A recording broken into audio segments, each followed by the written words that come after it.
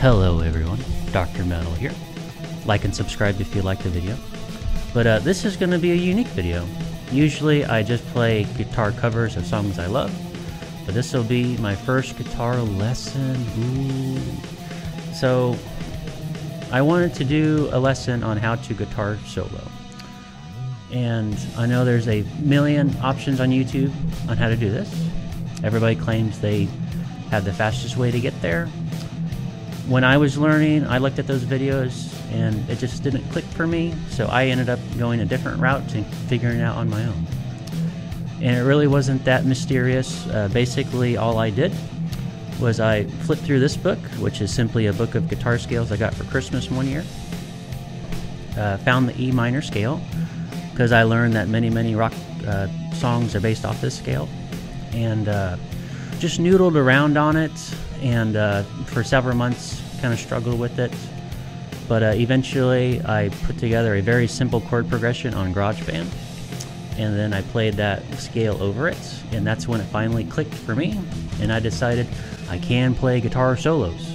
And then from there, uh, you just go on a, a, new journey to being a you know more advanced player. So th- this lesson is going to be for beginners to intermediates, and uh, my hope is that you'll just be able to use this as your catapult uh, to being a next level guitar player. So hope you find it helpful. Again, uh, like and subscribe if you do, and let me know if you'd like more videos like this because uh, I feel like I have a lot to offer because uh, I've, I've, been learning a lot uh, since I've been playing guitar. So, hope you enjoy. Okay, so let's just go over the E minor scale.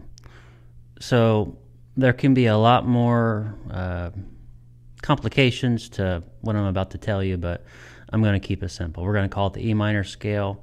We're going to start on E.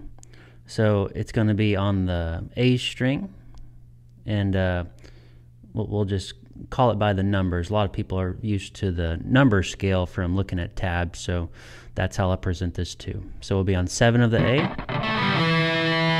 9 of the A, 10 of the A, 7 of the D, 9 of the D, 10 of the D, 7 of the G, and then 9 of the G. So that 9 note, that is that is also the E note, so that's the whole E minor scale. Okay. So the thing to take away from this is those are the notes. This guitar, there's a lot more of this guitar than just what I played. It's a whole neck of those notes repeating. So a big key to success is being able to transcribe those notes to the rest of this neck. So, so that'll be the job to do over the next several months to years of guitar playing. And uh, along the way, you'll find a lot of fancy ways to play that scale that are really awesome.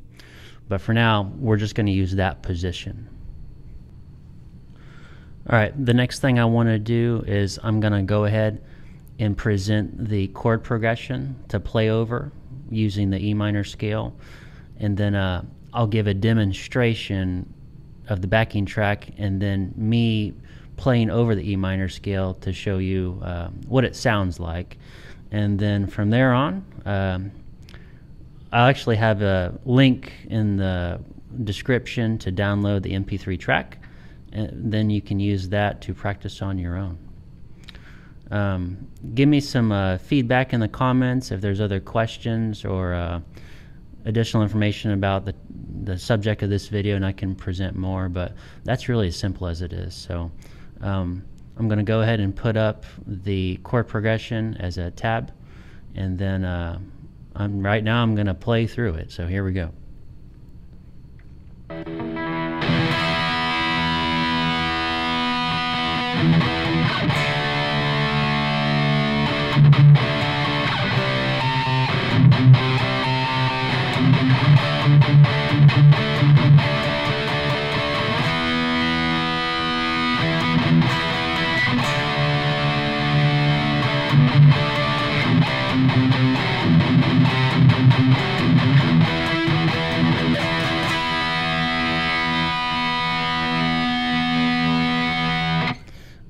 So there's a lot of extra technique in there, palm muting and whatnot, but it's basically uh, E minor chord into a D5 chord into a C5 chord uh, back to an E5 chord.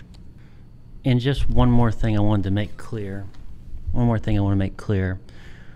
The notes in those chords, they are all within the E minor scale. So this is just a matter of being legal, so to speak, musically. All the notes in the scale are all the notes in that E minor scale that was presented uh, just sh- shortly before his. Um, that's is another piece of information to help this click. As long as I am using the notes within the scale, most of the time are going to sound great. Again, I'm, I'm, I'm, oversimplifying a little bit, but uh, for these purposes, that is true. So uh, go ahead and uh, work with this scale, and uh, I really think it's going to be a uh, a way to elevate yourself to the next uh, era of your guitar playing. So, next thing I'm going to do is go ahead and do a demonstration of this with the backing track and show you what can be done with it. So, here we go.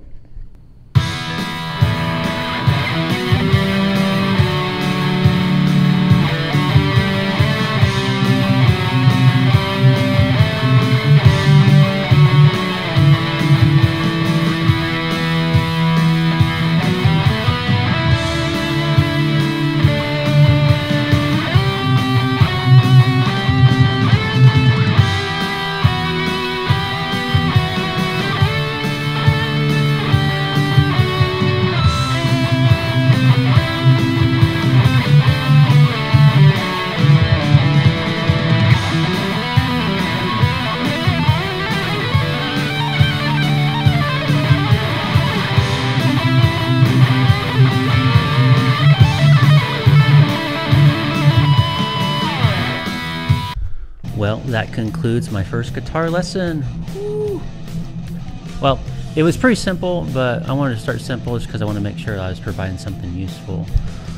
Um, if you want to see more stuff like this, uh, let me know in the comments. Like and subscribe.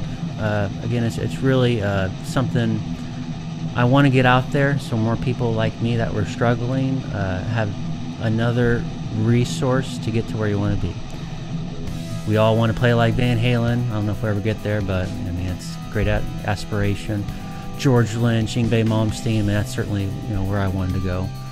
Um, and I've been trying, and I feel like I can provide a lot of useful tools to get there. Um, but yeah, uh, playing guitar solos is certainly something else that alleviates anxieties from life too. I think I know we all have them. Certainly I do, and. Uh, I don't think I'll ever quit playing guitar.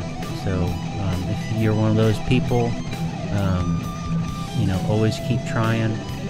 Um, guitar is one of those things that always gives back as long as you don't give up on it. So let me know if you want more content like this, and uh, I will provide it. And uh, give me more topics or suggestions, and uh, I'll be talking to you guys later. All right, thank you.